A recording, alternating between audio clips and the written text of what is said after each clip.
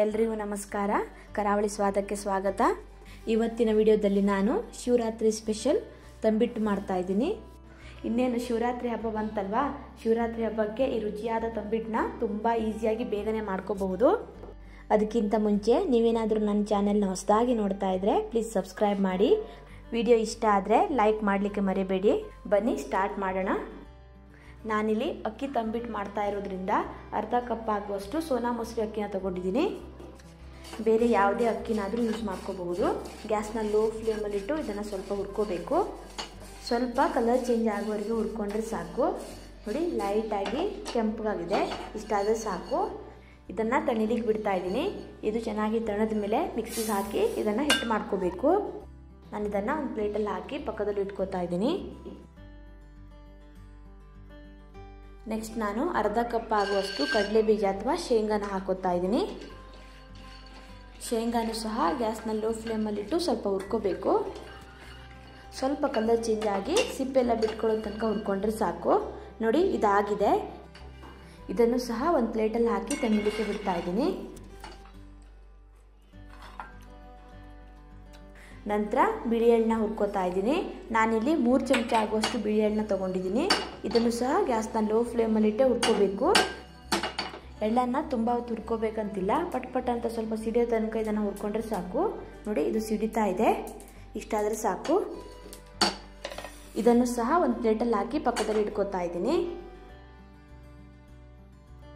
Next ನಾನಿಲ್ಲಿ ಒಂದು ಚಮಚ ಆಗುವಷ್ಟು ಗಸಗಸೆನ ಹಾಕ್ತಾ ಇದ್ದೀನಿ. ಪ್ಯಾನ್ ಆಲ್ರೆಡಿ ಬಿಸಿ ಇರೋದ್ರಿಂದ ನಾನು ಗ್ಯಾಸ್ನ ಆಫ್ ಮಾಡಿ ಇದನ್ನು ಹುರ್ಕೋತಾ ಇದ್ದೀನಿ. ಇದನ್ನು ತುಂಬ ಹೊತ್ತು ಹುರಿದ್ರೆ ಕಪ್ಪಗಾಗ್ಬಿಡುತ್ತೆ. ನೋಡಿ ಲೈಟಾಗಿ ಕಲರ್ ಚೇಂಜ್ ಆಗೋವರೆಗೂ ಹುರ್ಕೊಂಡ್ರೆ ಸಾಕು. ನೋಡಿ, ಇದಾಗಿದೆ. ಇದನ್ನು ನಾನು ಎಳ್ಳು ಹಾಕ್ಕೊಂಡಿರೋ ಪ್ಲೇಟಿಗೆ ಸೇರಿಸ್ಕೋತಾ ಇದ್ದೀನಿ. ನೆಕ್ಸ್ಟ್ ನಾನು ಒಣ ಕೊಬ್ಬರಿನ ಹುರ್ಕೋತಾ ಇದ್ದೀನಿ. ನಾನಿಲ್ಲಿ ಅರ್ಧ ಕಪ್ ಆಗೋಷ್ಟು ಒಣ ಕೊಬ್ಬರಿನ ಈ ಥರ ಚಿಕ್ಕದಾಗಿ ತುರ್ಕೊಂಡು ಹಾಕೋತಾ ಇದ್ದೀನಿ. ಇದನ್ನು ಸಹ ಗ್ಯಾಸ್ನ ಲೋ ಫ್ಲೇಮಲ್ಲಿ ಇಟ್ಕೊಂಡೇ ಹುರ್ಕೋಬೇಕು. ಸ್ವಲ್ಪ ಕಲರ್ ಚೇಂಜ್ ಆಗೋವರೆಗೆ ಒಂದರಿಂದ ಎರಡು ನಿಮಿಷ ಹುರ್ಕೊಂಡ್ರೆ ಸಾಕು. ಕೊಬ್ಬರಿನ ಸ್ವಲ್ಪ ಹುರಿದು ಹಾಕೋದ್ರಿಂದ ಟೇಸ್ಟ್ ಚೆನ್ನಾಗಿ ಬರುತ್ತೆ. ನೋಡಿ ಇದಾಗಿದೆ. ಇದನ್ನು ಸಹ ಒಂದು ಪ್ಲೇಟಲ್ಲಿ ಹಾಕಿ ಸೈಡಲ್ಲಿ ಇಟ್ಕೋತಾ ಇದ್ದೀನಿ. ನೆಕ್ಸ್ಟ್ ನಾನು ಬೆಲ್ಲದ ಪಾಕ ಮಾಡಲಿಕ್ಕೆ ಒಂದು ಕಪ್ ಆಗುವಷ್ಟು ಬೆಲ್ಲನ ಹಾಕೋತಾ ಇದ್ದೀನಿ. ಹಾಗೆ ಅರ್ಧ ಕಪ್ ಆಗುವಷ್ಟು ನೀರನ್ನು ಹಾಕ್ತಾ ಇದ್ದೀನಿ. ಬೆಲ್ಲ ಚೆನ್ನಾಗಿ ಕರಗಬೇಕು. ತುಂಬ ಹೊತ್ತು ಇದನ್ನು ಕುದಿಸ್ಕೋಬೇಕಂತಿಲ್ಲ ಅಥವಾ ಪಾಕ ಮಾಡ್ಕೋಬೇಕಂತಿಲ್ಲ. ಬೆಲ್ಲ ಕರಗಿದ ಮೇಲೆ ಒಂದರಿಂದ ಎರಡು ನಿಮಿಷ ಇದನ್ನು ಕುದಿಸ್ಕೊಂಡ್ರೆ ಸಾಕು. ಬೆಲ್ಲನ ಪಾಕ ಮಾಡಿಕೊಂಡ್ರೆ ತಂಬಿಟ್ಟು ತುಂಬ ಗಟ್ಟಿಯಾಗಿ ಬರುತ್ತೆ, ಚೆನ್ನಾಗಿ ಬರಲ್ಲ. ನೋಡಿ, ಬೆಲ್ಲ ಚೆನ್ನಾಗಿ ಕರಗಿದೆ. ಇಷ್ಟಾದರೆ ಸಾಕು. ನಾನು ಇದನ್ನು ಸೈಡಲ್ಲಿ ಇಟ್ಕೋತಾ ಇದ್ದೀನಿ.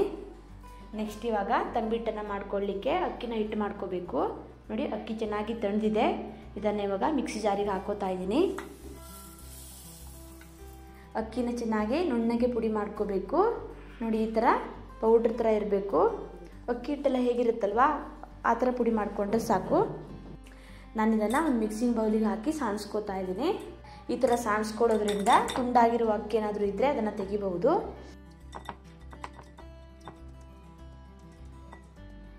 ನೆಕ್ಸ್ಟ್ ನಾನಿಲ್ಲಿ ಅರ್ಧ ಕಪ್ ಆಗೋಷ್ಟು ಹುರುಗಡ್ಲೆನ ತೊಗೊಂಡಿದ್ದೀನಿ.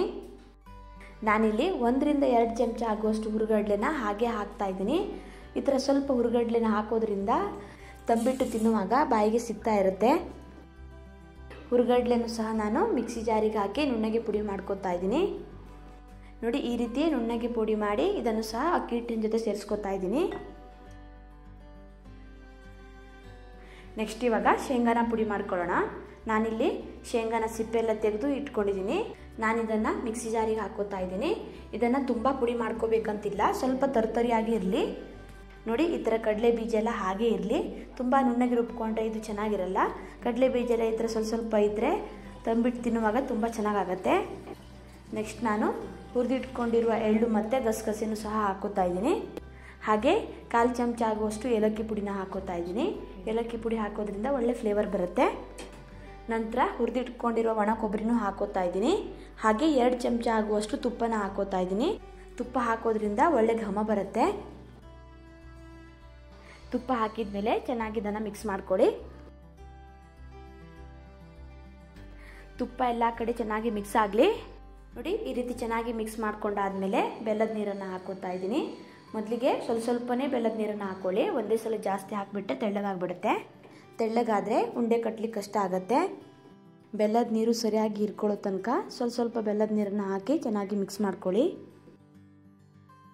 ನಾನಿಲ್ಲಿ ಮತ್ತೆ ಸ್ವಲ್ಪ ಬೆಲ್ಲದ ನೀರನ್ನು ಹಾಕಿ ಚೆನ್ನಾಗಿ ಮಿಕ್ಸ್ ಮಾಡ್ಕೊತಾ ಇದ್ದೀನಿ. ಉಂಡೆ ಕಟ್ಲಿಕ್ಕೆ ಆಗುವಷ್ಟು ಬೆಲ್ಲದ ನೀರನ್ನು ಹಾಕಿ ಚೆನ್ನಾಗಿ ಕಲಿಸ್ಕೊಳ್ಳಿ. ನಾನಿಲ್ಲಿ ಅಕ್ಕಿ, ಕಡಲೆ ಬೀಜ, ಹುರುಗಡ್ಲಿನ ಸಮ ಪ್ರಮಾಣದಲ್ಲಿ ತೊಗೊಂಡಿದ್ದೀನಿ. ಅಕ್ಕಿನ ಜಾಸ್ತಿ ತೊಗೊಂಡು ಉಳಿದಿರೋದನ್ನ ಕಡಿಮೆ ತೊಗೊಂಡು ಟೇಸ್ಟ್ ಚೆನ್ನಾಗಿ ಬರಲ್ಲ. ಕಡಲೆ ಬೀಜ ಮತ್ತು ಹುರುಗಡ್ಲೆಲ್ಲ ಜಾಸ್ತಿ ಹಾಕಿದರೆ ಟೇಸ್ಟ್ ತುಂಬ ಚೆನ್ನಾಗಿ ಬರುತ್ತೆ. ನೋಡಿ, ಬೆಲ್ಲದ ನೀರನ್ನು ಹಾಕಿ ಚೆನ್ನಾಗಿ ಮಿಕ್ಸ್ ಮಾಡ್ಕೊಂಡಾದ್ಮೇಲೆ ಸ್ವಲ್ಪ ತಂಬಿಟ್ಟು ಮಿಕ್ಸರ್ನ ತೊಗೊಂಡು ಈ ರೀತಿ ಉಂಡೆ ಕಟ್ಟಿದ್ರೆ ಆಯಿತು. ನಿಮಗೆ ತಂಬಿಟ್ಟು ಯಾವ ಸೈಜಲ್ಲಿ ಬೇಕು ಅಂತ ನೋಡಿಕೊಂಡು ಅಷ್ಟು ಮಿಕ್ಸರ್ನ ತೊಗೊಂಡು ಉಂಡೆ ಮಾಡ್ಕೊಳ್ಳಿ. ನೋಡಿ ಇದಾಗಿದೆ. ಎಷ್ಟು ಸಿಂಪಲ್ ಆಗಿ ತಂಬಿಟ್ಟು ಉಂಡೆನ ಮಾಡ್ಕೋಬಹುದು.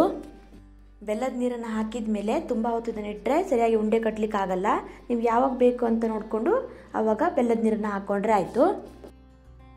ನೋಡಿ ರುಚಿಯಾದ ತಂಬಿಟ್ಟು ರೆಡಿಯಾಗಿದೆ ನೋಡಿ, ತುಂಬ ಸಿಂಪಲ್ ಆಗಿ ಅಕ್ಕಿನ ಹಾಕಿ ಈ ರೀತಿ ತಂಬಿಟ್ಟನ್ನ ಮಾಡ್ಕೋಬಹುದು ತುಂಬಾ ರುಚಿಯಾಗಿರುತ್ತೆ. ಇನ್ನೇನು ಶಿವರಾತ್ರಿ ಬಂತಲ್ವಾ? ಇದನ್ನು ಖಂಡಿತ ಟ್ರೈ ಮಾಡಿ, ಚೆನ್ನಾಗಿರುತ್ತೆ. ನೋಡಿ, ಎಷ್ಟು ಚೆನ್ನಾಗಿ ಬಂದಿದೆ ಅಂತ. ತುಂಬಾ ಸಾಫ್ಟಾಗಿ ಚೆನ್ನಾಗಿ ಬಂದಿದೆ ಅಲ್ವಾ? ಖಂಡಿತ ನೀವು ಒಂದ್ಸಲ ಟ್ರೈ ಮಾಡಿ. ನಿಮಗೇನಾದರೂ ಈ ವಿಡಿಯೋ ಇಷ್ಟ ಆದರೆ ಪ್ಲೀಸ್ ಲೈಕ್ ಮಾಡಿ ಕಮೆಂಟ್ ಮಾಡಿ. ನಿಮ್ಮ ಫ್ರೆಂಡ್ಸ್ಗೆ ಫ್ಯಾಮಿಲಿಗೆಲ್ಲ ಶೇರ್ ಮಾಡಿ. ಸಬ್ಸ್ಕ್ರೈಬ್ ಮಾಡಲಿಕ್ಕೆ ಮರಿಬೇಡಿ. ಮತ್ತೆ ಸಿಗ್ತೀನಿ ಹೊಸ ವಿಡಿಯೋಂದಿಗೆ. ಧನ್ಯವಾದಗಳು.